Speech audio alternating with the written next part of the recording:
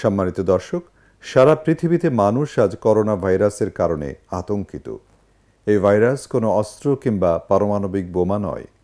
ক্ষুদ্র, সামান্য কয়েক ন্যানোমিটারের একটি অণুজীবের কাছে সারা পৃথিবীর মানুষ আজ অসহায়।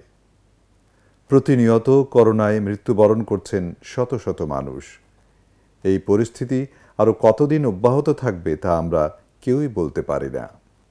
এমনই একটি ক্রান্তিকালে মার্কিন গবেষণা সংস্থা নাসার পক্ষ থেকে দেওয়া হলো আরও একটি দুঃসংবাদ। আগামী উনত্রিশ এপ্রিল দু হাজার বিশ পৃথিবীর কক্ষপথের কাছ থেকে প্রবাহিত হয়ে যাবে একটি শক্তিশালী গ্রহাণু। নাসার পক্ষ থেকে গ্রহাণুটির নাম দেয়া হয়েছে asteroid five two seven six eight বা one nine nine eight O R two. নাসার মতে এই গ্রহাণুটি সরাসরি পৃথিবীর কোথাও আঘাত হানবে না।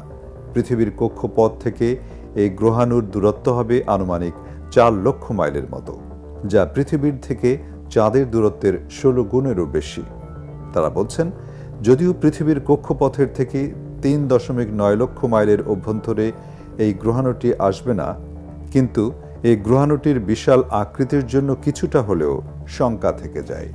আনুমানিক এক দশমিক এক থেকে দুই দশমিক পাঁচ মাইল ব্যাস বিশিষ্ট এই গ্রহাণুটি ঘন্টায় বিশ হাজার মাইল বেগে পৃথিবীর কক্ষপথের কাজ দিয়ে প্রবাহিত হয়ে যাবে, যার প্রভাবে পৃথিবীর চৌম্বক ক্ষেত্রে একটি পরিবর্তন আসতে পারে এবং পৃথিবীর অনেক জায়গা সাময়িক সময়ের জন্য হলেও সূর্যের আলো থেকে বঞ্চিত হতে পারে এবং একই সঙ্গে হতে পারে অ্যাসিড বৃষ্টি।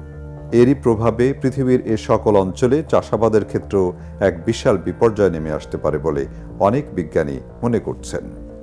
তবে আসার কথা হলো, চলার পথে কোনো একটি নির্দিষ্ট গ্রহের কিংবা বৃহৎ উল্কাপিণ্ডের মধ্যাকর্ষণ শক্তির প্রভাবে একটি গ্রহাণু তার গতিপথ পরিবর্তন করতে পারে।